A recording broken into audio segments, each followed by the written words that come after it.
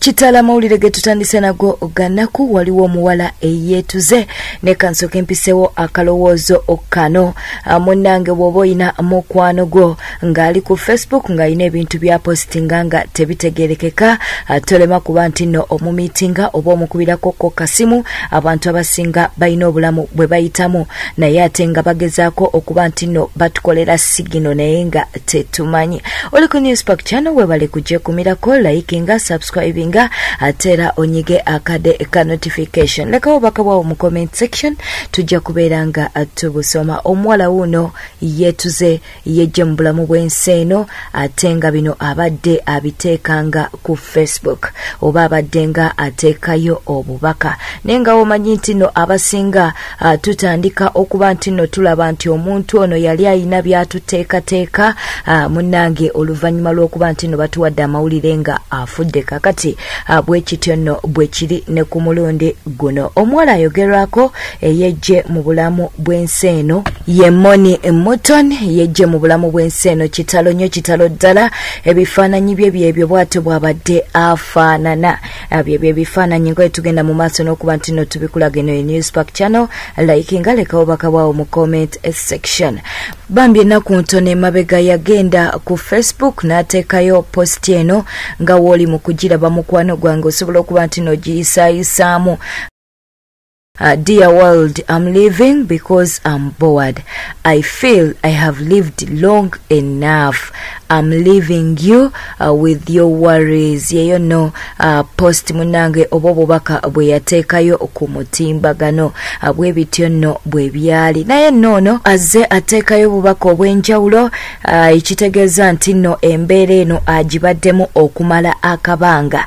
Ennaku ttaano emabega alina post gye yateekayo. Era post yeyo mukwano gwange osobola okuba nti nno ogisomamu uh, bwatyo nno bwe yateekayo. Ennaku ezo zaali ttaano emabega era ng'eno komenti yemu oba posti yemu azze agiteekayo nga ne mu mwaka ogwa bbiri abiri posti yemu oba caption yemu gye yakozesa nga wolabaawo we tuli mu kukulaga. Eyo nno yaliwo nga bbiri abiri era n'addamu nga ennaku ttaano eziyise emabega ate era mu mwaka gwa bbiri kumi na mwenda yavaayo n'ateekayo caption eyo nga we tuli mu kugikulaga. Okitegedde no mukwano ekitegeeza nti bambi ono aludde ng'ayina ebizibu ebimusumbuwa ebizibu ebimutawanya oba oliawo ebimuleetedde okuba nti nno yejja mu bulamu bw'ensi. Eno kitalo nnyo kitalo ddala katwongere okuba nti no tusabira abafamire ye ab'eŋŋanda ze babeere nga baguma eyo nga tuvuddeyo emikolo gya charles kwassa ne asia gye giri mu kutambuzibwa ku mutimbagano era nga munnanga ebifaananyi bya asia ng'ayambadde gomesi kwassa ne metroni we fibi ate era ne charles naye ng'ayambadde ekanzu kwassa ne bestman we mwami jemba ate era n'engoye ez'embaga byebiri mu kutambuzibwa. Naye ffe ng'aba newspark channel amawulire gano wadde tuli mu kugakuwa tetunaba kuba nti nno tukkiriza nti abantu bano ddala ddala bafuuse mwami na musajja. Kubanga tetunaba kuba nti nno tulaba ku vidiyo ez'abagenyi abaayitiddwa. Tetunaba kuba nti nno tulaba ku asiya ng'azina ku mazina nga wolaba abagole nga bayingirawo ku receptioni oba ku mukolo ogw'okwanjula ebyo byo tetunaba kubeera nga tubiraba. N'olwekyo katugende mu maaso n'okuba nti no tunoonyereza tukomewo n'ekyenkomeredde. Yandibanga munnange bashutinga vidiyo ey'oluyimba oba nga waliwo bridal shop yonna eyagala okuba nti no bano munnange ebakozesa mu kulanga obulango bwabwe. Oba si kyo? Munnange gwandibanga mukolo. Katugende mu maaso n'okuba nti no tubinoonyerezaako naye nga weebityo bwe biri bwe biba nga bituufu twagala okubeera nga tuyozaayoza munnange charles kwоssa ne asia era tubaagalize obufumbo obulungi. Eyo nno nga tuvuddeyo mukwano gwange omulungi. Akatusooke tukujukize nti tewerabira bannaffe abanina bridos bano ne basangibwa wali eri konge lukuli balina gomesi ez'emikolo balina emishanana egy'emikolo ate era balina n'ebinyankole. Kakati bakubire ku simu eya noti musanvu noti mukaaga kinana munya kyenda mu ssatu nsanvu mu bbiri be bannaffe abanina bridos bekwate okuba nti n'omukwano bakwambaza ku mukolo gwo obeere ng'ovaayo mu nnyumba nga buli muntu agamba mm, ddala ddala omukolo gwe yagwetegekedde mu mawulire amalala atolooza hamuza sebunya bawa omuyimbi rema namakula omu bw'ati teyagudde mu bintu.